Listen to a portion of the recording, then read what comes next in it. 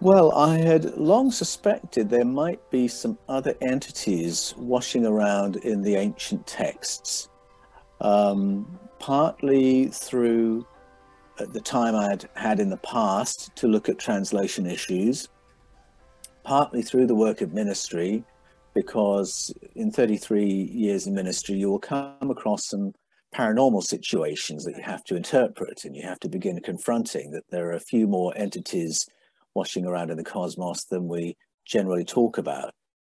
His hungry and thirsty human beings were suffering in the desert. They'd been on emergency rations for goodness knows how long. They were having problems because of lack of access to safe drinking water. What does Yahweh do? He gives them a stone. And Moses has to get water from the stone. When they say, We can't live on this emergency ration forever, can we have some proper food, please? Yahweh punishes them by sending not food, but snakes. That's what Jesus is referring to. That's how Yahweh responds to hungry people. What kind of father does that? Jesus says. You evil lot, you know how to look after your children. You wouldn't do that to your children. What kind of father would? In that moment, you can't equate Yahweh with the God that Jesus was revealing and relating to and calling Father. So you get to the Ten Commandments, and it's very clear there are other powerful ones out there, but you are not to talk about them, you're not to serve them, you're not to work for them, don't even depict them.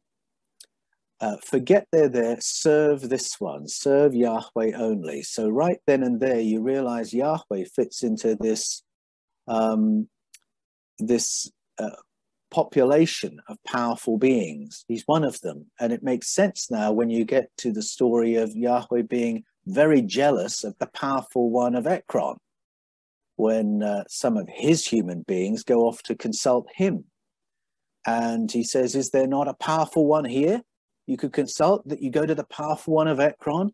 And there's this peer to peer competition going on. Suddenly it makes sense. Yahweh is one of the Elohim. In your third book, you actually open um, the book with uh, a, a, quick synopsis of a regression that you did with Barbara Lamb, who is a very uh, well known ET regressionist. And what did you learn?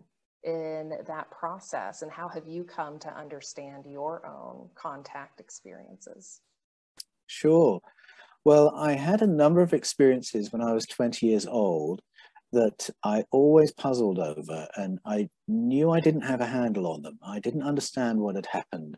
To my mind, they either had to be experiences of God or the devil, angels or demons, or human, animal, vegetable, mineral. I had no other boxes for the universe to fit right. into, if you can imagine that. And um, but I knew it didn't quite fit. So I had a scary experience of five entities showing up in my apartment just outside Bath. And I didn't know what I was looking at. I, I could see clearly enough to see that there were five of them. I could see clearly enough to see they were about the size of a year six, uh, but they were somehow translucent. Um, I knew they weren't human and I was scared. Uh, and then I don't remember what happened next.